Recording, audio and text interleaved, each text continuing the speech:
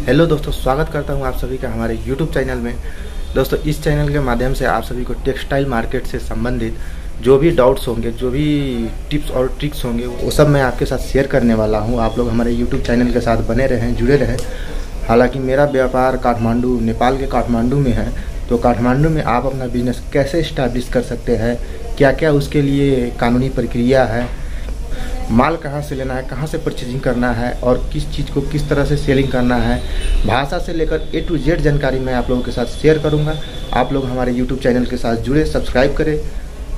बहुत सारे लोग कपड़े का व्यापार करना चाहते हैं, लेकिन वो ट्रिक और टिप्स क्या क्या है कैसे कैसे किया जाता है, वो सब नहीं जानकारी होने के बावजूद वो अपना इन्वेस्टमेंट एक अच्छे अच्छे खासे सेविंग का इन्वेस्ट कपड़े का बाज़ार में कर देते हैं, लेकिन वो उनसे उसका कुछ खास फ़ायदा नहीं हो पाता है। वो नुकसान सह के आखिरकार वो अपना बिज़नेस बंद कर देते हैं या कुछ और कर लेते हैं।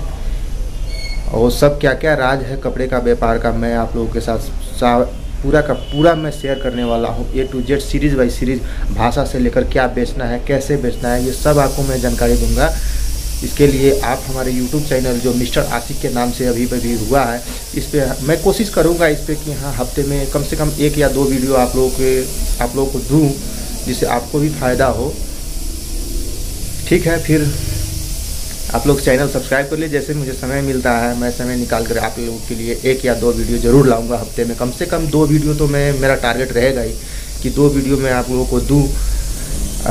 वीकेंड में आपको सैटरडे अगर दो संभव नहीं होता है तो सैटरडे में सैटरडे को सैटरडे शाम शाम तक मैं एक वीडियो अपलोड कर दूँगा आप लोगों के लिए, जिससे आपको कुछ फ़ायदा हो, जानकारी मिले। मिलते हैं अगले वीडियो में। तब तक आप हमारे यूट्यूब चैनल को सब्सक्राइब करके रखिएगा और बगल में जो घंटा का आइकन बन के आएगा, उसे आप लोग उसे आप लोग दबा लीजिएगा ताकि जब भी मैं कोई नया वीडियो अपलोड करूँ सबसे पहले आप तक नोटिफिकेशन पहुँच जाए। ठीक है? जय हिंद।